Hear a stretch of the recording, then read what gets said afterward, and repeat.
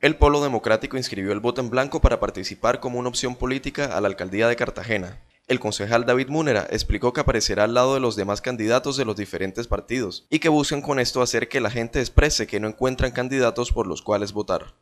El Polo hizo un, un análisis de la situación de Cartagena y de los candidatos que hay y realmente consideramos que todos los candidatos representan más de lo mismo que mantienen el debate y en, en las condiciones de crisis de la ciudad de Cartagena. Por eso hemos inscrito como una opción política el voto en blanco y vamos a invitar a los ciudadanos que voten en blanco.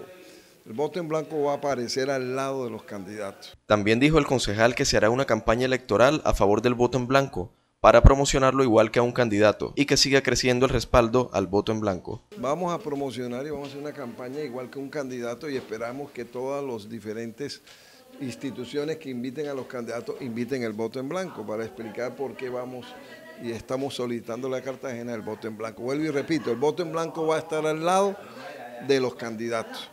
Ahí aparece la foto de los candidatos y la foto del voto en blanco. Y eso es el que hay que votar.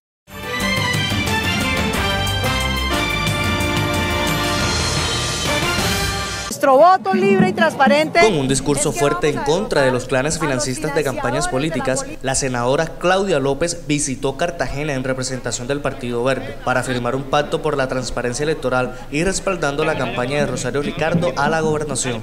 Izar esta bandera de Bolívar, que es lo que estamos defendiendo, la calidad de vida de toda la gente en Bolívar para que puedan votar de manera libre, transparente, para que sepamos que con nuestro voto libre y transparente es que vamos a derrotar a los financiadores de la política ilegales, a los clanes familiares que se han robado este departamento. Bolívar se merece una mejor suerte. Al momento de preguntarle sobre los orígenes de la candidata Rosario Ricardo, ya que esta perteneció a uno de los clanes familiares que la senadora hoy denuncia, esta fue su respuesta. ¿Qué garantía le ofrece Rosario Ricardo teniendo en cuenta el origen de una de las familias que usted más, atacó eh, en, la trayectoria usted como periodista? ¿Y qué garantía? en esta campaña. Esa es la garantía que tenemos, que no están en esta campaña, ellos tienen otro candidato que están apoyando. Allá están todas las maquinarias con otros candidatos y con otras chequeras. Acá estamos una fuerza ciudadana independiente y los verdes apelando al voto libre de todos los ciudadanos.